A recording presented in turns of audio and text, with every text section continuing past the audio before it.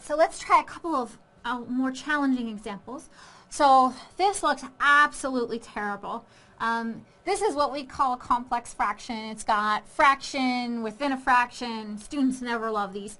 But they look terrible, but they're actually not too bad. Um, and so what we're going to do, we can think about, you can think about fractions in a couple different ways, right? You can think about them as parts of a whole, or you can think about them as division.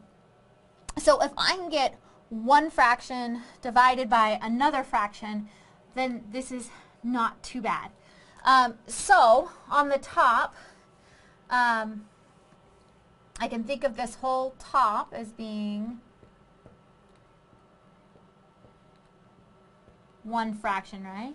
So something they forget to tell you sometimes is that fractions are secret grouping symbols. So that there are actually secret parentheses around the top of the fraction and the bottom of the fraction.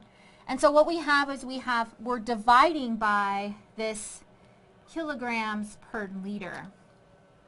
Um, but how do you divide fractions? You multiply by the reciprocal. So we can think about this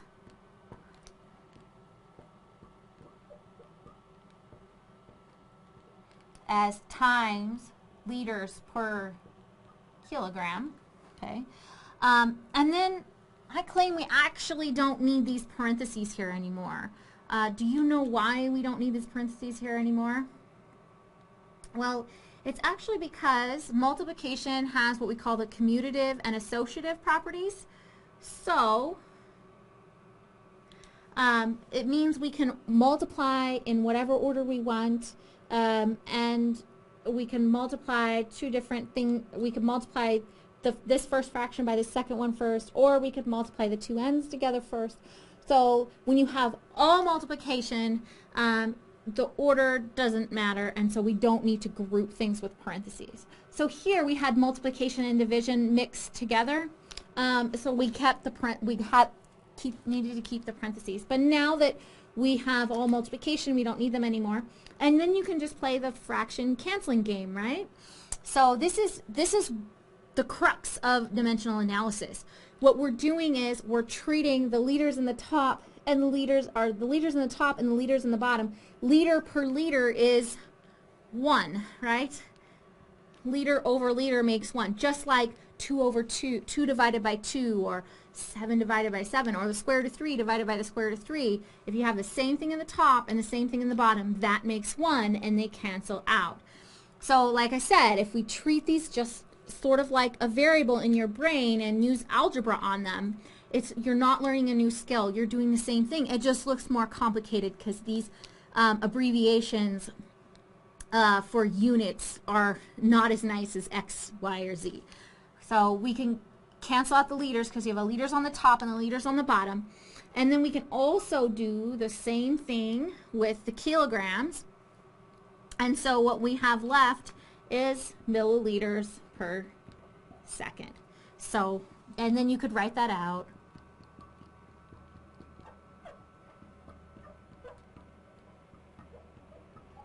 So that's the units you're working with, milliliters per second. All that big mess turned into milliliters per second. All right, so I have another example. So this was my first example over here. So another more complicated example um, than the first couple that we did. So let's see, I've got milliliters to the negative 1. And I'm going to put the multiplication in here just so that we can see that they're distinct from each other. The milliliters to the negative 1 and then um, just an m by itself is the basic unit of measure for distance. Do you remember what it is? It's meters, okay, times seconds to the negative 1 times milliliters over seconds or milliliters per second. Okay, and so we want to simplify this as much as we can and break this down a little bit. Um, so milliliters, the M and the L since it's standing for milliliters, go together. So that's going to be 1 over m to the our milliliters, right? So usually when you do algebra, if you have two letters next to each other, the exponent would only work on the thing that it's right next to.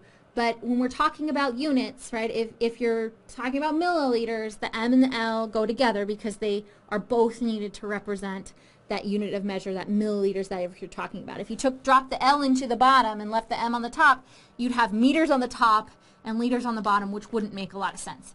So if you're talking about a unit of measure, the two letters do go together. If you're in an algebra class and you're talking about X, Y's, and Z's, they would not.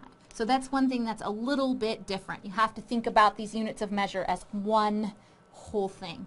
Um, all right, so then we still have the meters in the top, and then the seconds to the negative one, we're going to drop that into the bottom. And you can put these guys over one if that helps you. Doesn't hurt anything. Oops, when we drop it into the bottom, what happens to the exponent? It becomes positive. So don't forget that and we still have our milliliters per second.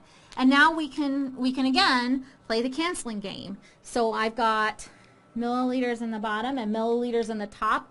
It's all multiplication between everything. There's no addition sign, so it's okay for me to do this. If there's addition signs in, in our algebra, right, when we're doing algebra, we can't do canceling. We have to factor out and remove the factors of one. But here, because we have milliliters in the bottom, milliliters in the top, we're, we're okay, and it's all multiplication, we're good to go. Um, when you do these dimensional analysis problems, there won't be addition in there, so uh, you kind of don't have to worry about it. All right, so what are we left with? We're left with uh, meters on the top, and we're left with seconds times seconds. So do you know how we would write that? Well, how do you write, well, how would you write x times x? You would write it as x squared. So it's the same thing here. We would write it as second squared. So we have meters per second squared.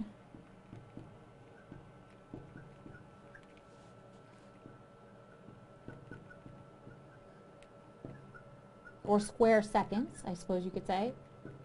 Um, and this is actually the unit of measure for acceleration. So if you take a physics class and you were talking about um, acceleration and you were doing some uh, problems with acceleration, uh, acceleration is measured in meters per second squared. So just an interesting kind of little physics fact. So, um, so these are kind of more complicated problems, but remember, if you treat it just like an algebra problem with the exception that if um, you're talking about a unit of measure, the two letters stay together. Unlike in algebra, they would they would be separate. There would be an implied multiplication here.